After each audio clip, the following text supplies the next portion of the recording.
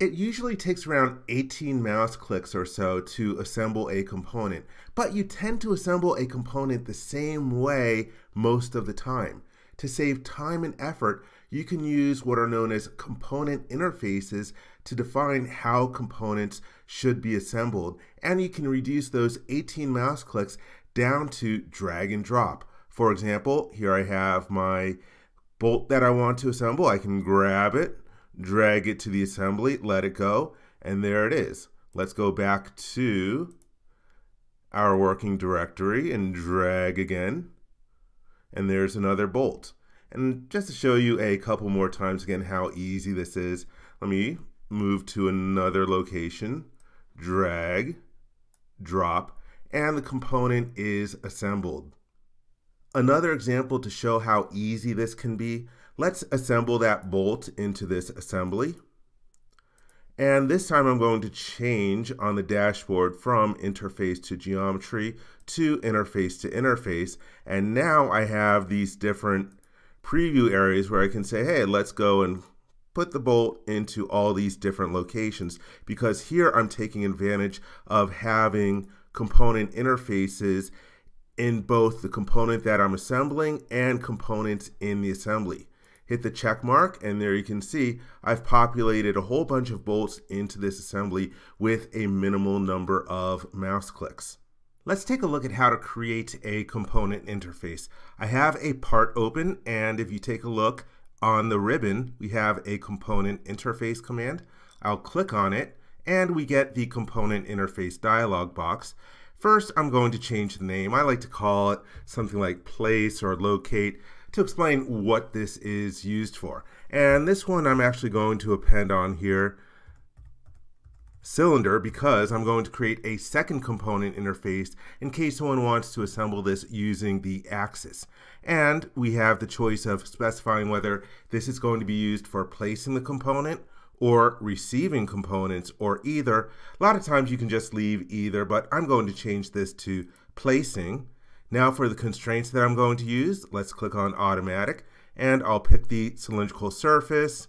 And for the second constraint, I'm going to use this flat planar surface. And since I picked a flat planar surface, I have the ability to choose whether this is going to correspond to the old mate constraint or the align constraint with the mate constraint, the surface normal vectors that you pick will end up pointing in opposite directions. In other words, two surfaces will face each other. With aligned, surface normal vectors will point in the same direction.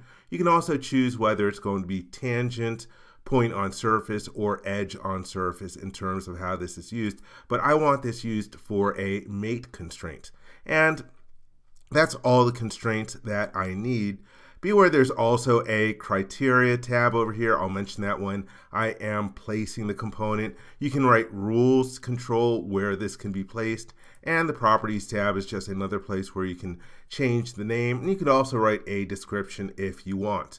So let's hit the check mark.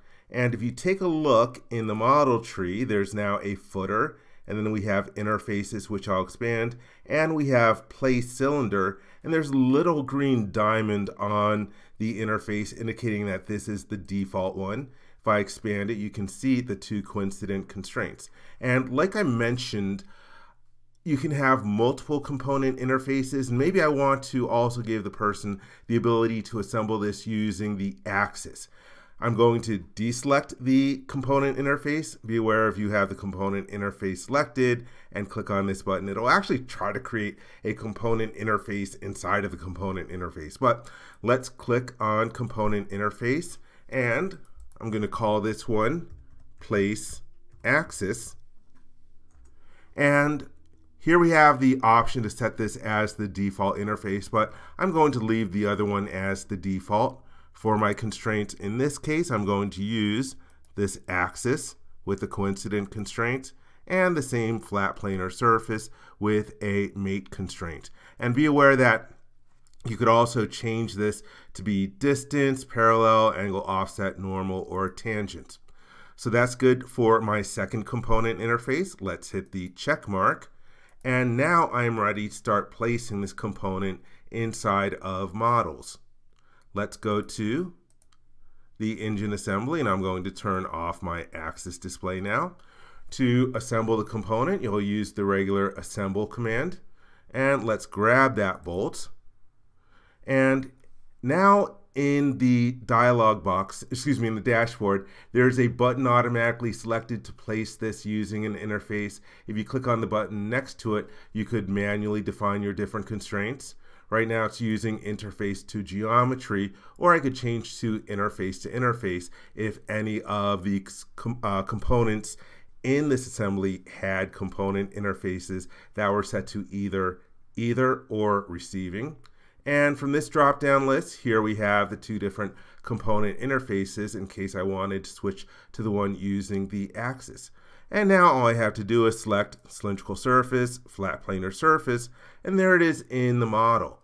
Now I can hold down the right mouse button and from the pop-up menu I can choose new location and then pick here and here. Do that again, new location and it ends up becoming much quicker for populating my assembly with a bunch of different components. And I'm going to do it one last time to show you here and here. Let's go to the placement tab and from the placement tab here you can see all the different places in which I located the component and if you decide that you don't want one of them you could right click on it and choose delete and that got rid of that last one. If for some reason the component got placed upside down or in the wrong way, you can select the different constraints. For example, coincident here, and I could use the flip button to get it pointed in the direction that I want. And also at this point, you could add different constraints uh, or remove some of the constraints that came over from the component interface.